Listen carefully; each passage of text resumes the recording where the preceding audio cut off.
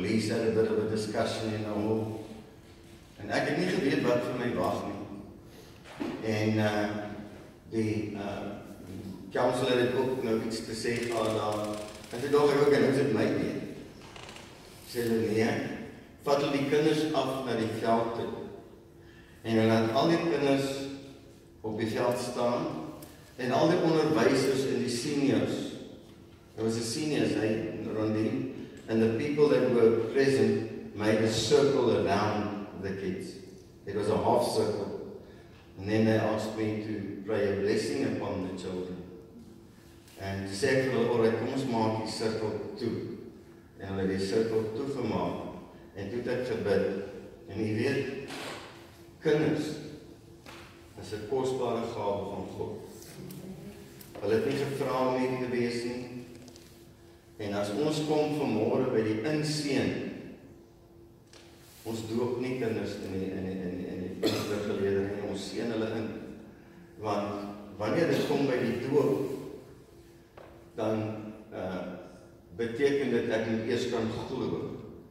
Want die wat glo en hulle laat doop so aan in in in in met ander woorde kinders kleintjies ons seën hulle in.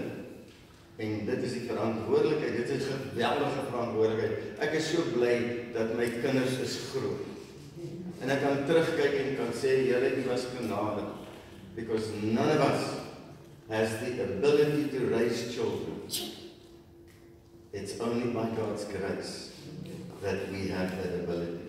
So George, Marina, julle moet voorkom staan en ek wil hê die ouers En as die ehm um, die ouers en die uh, as daar groot ouers hier is kom staan saam met hulle hierso. Daar kan staan of nie. Nou Jesus kom al die ouers en die groot ouers staan. Nou ek wou hulle so groot hier voor my. Julle sal my nie kan sien.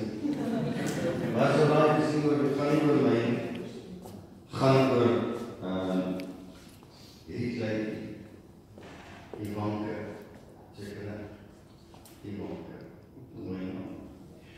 nou Jesus het gesê en ons sien dit in Markus 10 vanaf vers 13 en hulle het die kindertjies na hom gebring dat hy hulle kon aanraak en die disippels het die wat hulle gebring het bestraf en dit is so tipies van ons mense vir ons is kinders weet ons is kinders vir ons moeite nie. Hulle is nie ons pad nie. En maar toe Jesus dit sien het, hy het hulle dit baie kwaadlik geneem en hulle gesê: "Laat die kindertjies na my toe kom en verhinder hulle nie, want aan sulkes behoort die koninkryk van God." Voorwaar ek sê vir julle, elkeen wat die koninkryk van God nie soos 'n kindjie ontvang nie, sal daar nooit ingaan nie en hy het sy arm om hulle geslaan en sy hand op hulle gelê en hulle geseën. En dit is waar dit vandaan kom dat ons sê ons seën die kinders. Ons seën hulle in.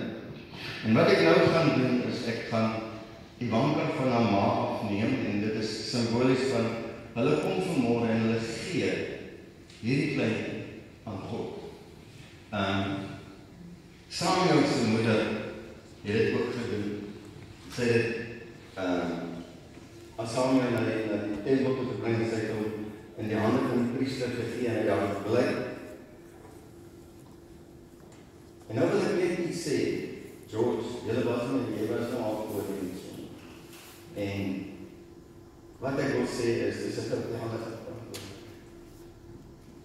Want die mense God het haar geken, Marina toe sy 'n ongevormde klomp in jou moeder se skoot was. En daardie tyd is die daar bepaal vir haar. God het haar geken en haar kunstig saamgeweef in jou binneste. Is wat ons moet onthou. Sy sê net daar is niemand anders soos sy. En ons Maria is 'n geweldige geweldige verantwoordelikheid. Want die Here gaan julle verantwoordelik hou vir hierdie kind. Net so, elkeen van julle wat staan. Julle het 'n invloed. Dit is wat julle doen is saam met julle saam in hierdie kind se lewe. En as jy goeie saad saai, sal daar goeie vrug voorkom. Moenie maak soos wat hulle het gesê. Maar as jy elkeen by die koninkryk, dan hulle nie verhinder nie, verhinder hulle nie. Op baie plek sê, dit is beter as iemand wat meelsel of en net en in die see gegooi word, in die water gegooi word en versuip as om hierdie te laat sterf. So, dit is 'n geweldige verantwoordelikheid en ek wil hê jy moet dit besef. Ehm um, Wat ek kom maar net met die man proses.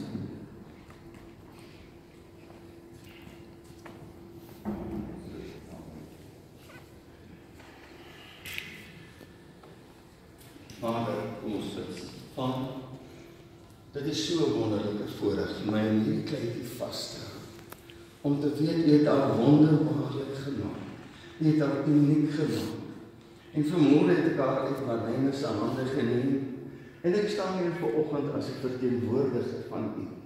En hulle eintlik gee hierdie kleintjie in U hande. Dit is nou wel my arms.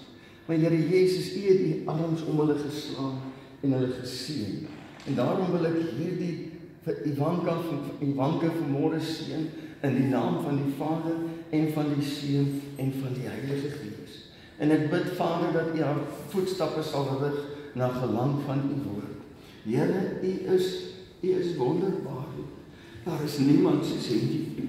En vanmôre wil ek hierdie kind in U hande plaas in die naam van Jesus. En ek wil vra Here dat U haar sal toevou met U liefde en U genade in die naam bo alle name die naam van Jesus. En Vader, as ek aan nou teruggee aan Marina, dan gee ek haar terug as 'n geseënde van die Here. En ek vra Vader dat U hierdie twee mense